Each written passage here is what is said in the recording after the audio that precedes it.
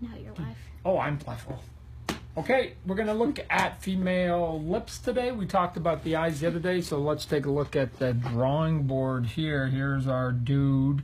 I'll go a little bit smaller. We've been doing our dude here, right, with his male eyes, his male nose, his male mouth. We'll do the nose on another lesson, but let's pop on the female eyes, right, and get rid of the hair so we don't freak. And we'll talk about the hair a little bit later. And now let's blot out the mouth here. All right, so here's sort of the trick with the, and forget that this is a male nose, we'll get to that later. Here's sort of the trick on uh, the female. Uh, we'll go here, get another layer. Um, I always like, make sure you have this little V here, that's sort of the center of their lips. And then I always think that for the most part, especially at resting, that the top lip on the female is sort of the puffier of the two, right? So I always like it to be that the top lip is almost a little bit of a triangle. So it goes up, down, and over this way. Uh, if I turn it here, if I go back up over here, and again, once you do that little V here, you can do the little V here. And I'm going to make her top lip kind of black, just so it looks like there's a lot of shadow on it. So we'll give her some shadow. I'll come in with some lip gloss here in a minute. Um, and so we give the top lip is going to be is going to be kind of puffy, and again you're going to see it's like a little bit of a tint.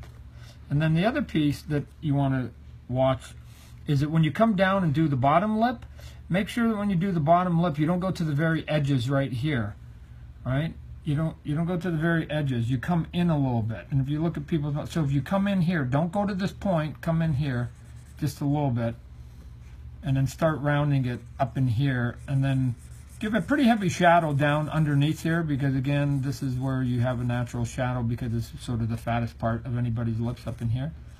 And you come up in here. If you want her to have a little bit of an open mouth, you can just sort of open it here like this, and I'll show you what it looks like once I pull it away real quick. So if I if I pull it away real quick, you can see now she's got the open mouth, and she's got a shadow down there, or she has a shadow down there. And then what you can do is you now come in here, and depending on your color, we're going to do black and white, you give her a little bit of highlight, you give her a little bit of wrinkles because everybody's everybody's uh, lips aren't quite perfect, so you give her a little bit of that. I come back in on the white, and I can do a little bit here, do a little bit of sort of scratching up in here, and you get just a bit of what the female should look like. So if we go here and we go back, I'll set the picture for you again. There's our female, there's our female lips there relative to the male. There's the male, right? She doesn't look quite as quite as pretty if she doesn't have the lips. The men, you don't have to really worry about the lips because it's not something that is defined because we don't put on lipstick. So again, there's the man's lips and there's the female, right? And the other thing we'll talk about too is that once you put hair on a lady, then it really it really starts to all fall into place. We're, we're also going to talk about, let me just add one piece to this.